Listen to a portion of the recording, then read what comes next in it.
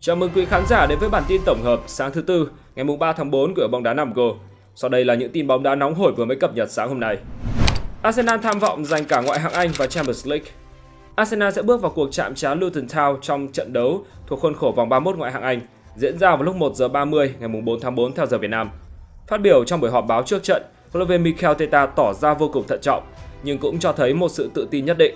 Chiến lược gia người Tây Ban Nha bày tỏ nếu theo dõi Luton Town, bạn sẽ thấy rằng đội bóng này thi đấu thực sự tốt, kể cả khi họ không giành chiến thắng. Arsenal đã rất khó khăn để đánh bại Luton Town vào tháng 12 năm ngoái. Những gì họ đã làm được thật tuyệt vời. Tôi nghĩ họ xứng đáng nhận được nhiều lời tán dương hơn bất kỳ đội bóng nào khác tại ngoại hạng Anh. Trận đấu sắp tới hứa hẹn sẽ cực kỳ khó khăn. Cũng trong buổi họp báo này, huấn luyện viên Mikel Teta đã thể hiện tham vọng lớn khi muốn cùng Arsenal cạnh tranh cho chức vô địch ngoại hạng Anh và Champions League. Nhà cầm quân 42 tuổi cho hay đây luôn là điều chúng tôi luôn mong muốn và bây giờ toàn đội phải tận dụng cơ hội để biến điều đó thành hiện thực.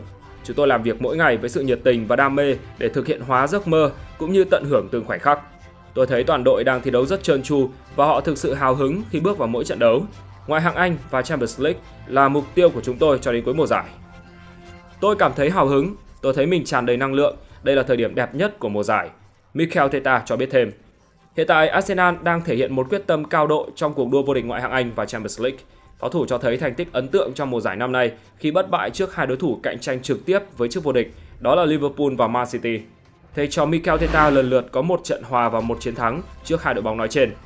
Sau 30 vòng đấu, Arsenal đang đứng thứ hai tại ngoại hạng Anh với 65 điểm. Khoảng cách của pháo thủ với đội đầu bảng Liverpool chỉ đang là 2 điểm. Nếu có thể đánh bại Luton Town ở trận đấu tới, Arsenal sẽ gây sức ép không nhỏ tới tờ cúp. Còn tại đấu trường Champions League, Arsenal phải đương đầu với thử thách mang tên Bayern Munich trong hai trận tứ kết. Với phong độ ở thời điểm hiện tại, người hâm mộ đang rất kỳ vọng vào việc pháo thủ có thể giành tấm vé đi tiếp. Thầy trò huấn luyện viên Mikel Teta sẽ có chuyến hành quân đến sân của Bayern Munich vào ngày 10 tháng 4. Sau đó một tuần, trận đấu lượt về sẽ được tổ chức tại Emirates. Pep Guardiola báo tin giữ Man City tổn thất lớn trong giai đoạn nước rút. Sau trận hòa không bàn thắng trước Arsenal tại vòng 30 ngoại hạng Anh, Man City tiếp tục phải chạm trán một đối thủ vô cùng khó chịu đó là Aston Villa đoàn quân của Pep Guardiola sẽ có cuộc tiếp đón The Villa trên sân nhà trong trận đấu thuộc khuôn khổ vòng 31 diễn ra vào lúc 2 giờ 15 ngày 4 tháng 4. Chia sẻ trong buổi họp báo trước trận, Pep Guardiola đã mang đến những thông tin không mấy tích cực về tình hình chấn thương của các trụ cột Man City khi được hỏi về khả năng ra sân của bộ ba Ederson, Kyle Walker và John Stones trong trận đấu với Aston Villa. Nhà cầm quân người Tây Ban Nha cho hay, Tôi không nghĩ họ có thể xuất phát cùng nhau. John Stones có khả năng ra sân, nhưng Ederson và Kyle Walker thì không thể. Ake cũng sẽ vắng mặt trong trận đấu tới. Cậu ấy dính chấn thương và tôi không biết chính xác thời gian hồi phục. Hy vọng rằng cậu ấy có thể sớm trở lại cùng toàn đội. John Stones dính chấn thương trong trận giao hữu giữa đội tuyển Anh và đội tuyển Bỉ thuộc khuôn khổ FIFA Days hồi tháng 3. Ngôi sao sinh năm 1994 chỉ có vỏn vẹn 10 phút thi đấu trước khi phải rời sân để nhường chỗ cho Joe Gomez. Stones sau đó vẫn được Pep Guardiola điền tên trong danh sách thi đấu của Man City ở trận gặp Arsenal tại vòng 30 ngoại hạng Anh. Tuy nhiên, trung vệ này không được tung vào sân một phút nào Tương tự như Stones, Kyle Walker cũng dính chấn thương khi tập trung cùng đội tuyển Anh tham dự hai trận giao hữu vào tháng 3. Ngôi sao 33 tuổi phải rời sân ở phút 20 trong trận thua 0-1 của Tam Sư trước Brazil.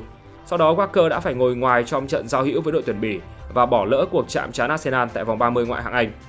Về phía Ederson, thủ thành người Brazil đã phải ngồi ngoài từ ngày 10 tháng 3. Người gác đền 30 tuổi dính chấn thương và rời sân ở phút 56 trong cuộc chạm trán giữa Man City và Liverpool tại vòng 28 ngoại hạng Anh. Nathan Ake là trường hợp mới nhất dính chấn thương của Man City. Trung vệ người Hà Lan bị đau và được huấn luyện viên Pep Guardiola thay ra nghỉ ở phút 27 trong cuộc chạm trán Arsenal mới đây. Với việc thiếu vắng nhiều trụ cột, The Citizens được dự đoán sẽ gặp không ít khó khăn trong cuộc đụng độ Aston Villa tại vòng 31 ngoại hạng Anh. Hiện tại, The Villa đang đứng ở vị trí thứ 4 trên bảng xếp hạng và kém Man City 5 điểm. Derby London nhạt nhòa, Tottenham bỏ lỡ cơ hội vào top 4.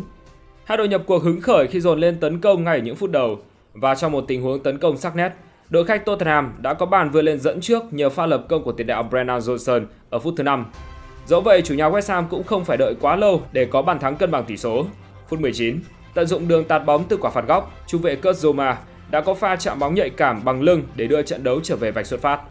Trong những phút sau đó, nhịp độ của trận đấu có phần được giảm xuống bởi điều kiện thời tiết mưa nặng hạt khiến sân trơn bóng ướt. Điều này đã dẫn đến việc những đường bóng khó được triển khai theo chiến thuật đã đề ra. Hai đội không có thêm bất cứ bàn thắng nào sau hiệp 1 khép lại. Bước sang hiệp 2, thế trận không có quá nhiều thay đổi khi cả hai đội chơi ăn miếng trả miếng với những cơ hội có được.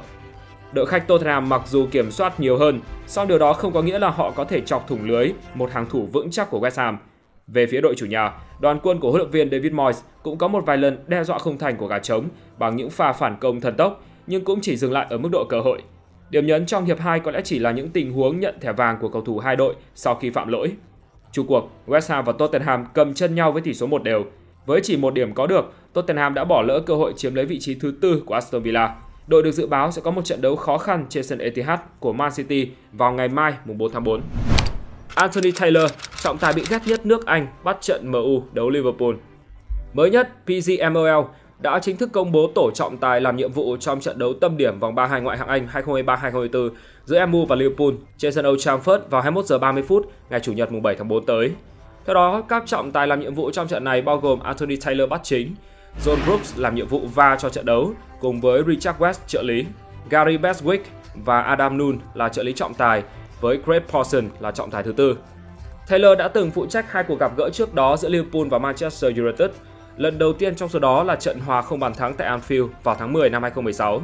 Ông cũng là người thổi còi cho chiến thắng 5-0 của Liverpool tại Old Trafford 5 năm sau đó.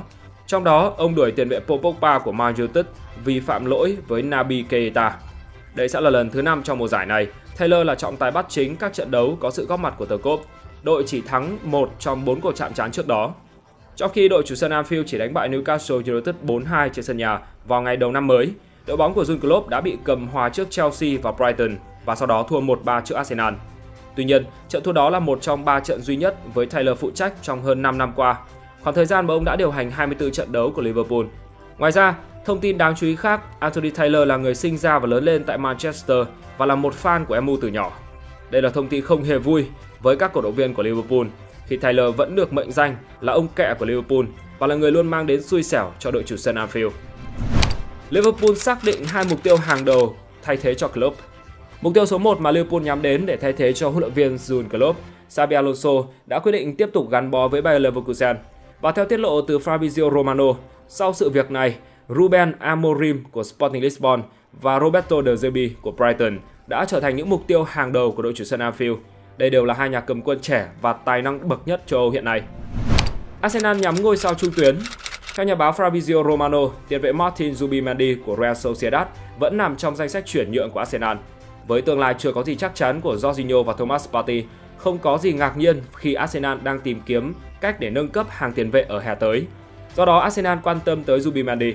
Đáng chú ý, Bayern Munich cũng muốn có tiền vệ này. MU sắp có giám đốc kỹ thuật mới. Theo chuyên gia chuyển nhượng Fabrizio Romano, Man United đã đạt được thỏa thuận với Jason Wilcox của Southampton trong vai trò giám đốc kỹ thuật mới tại Old Trafford. Wilcox dự kiến sẽ làm việc cùng với giám đốc bóng đá sắp tới, đó là Dan Ashworth, người đã rời Newcastle vào tháng 2 để chuẩn bị gia nhập Man United của Sir Jim Ratcliffe.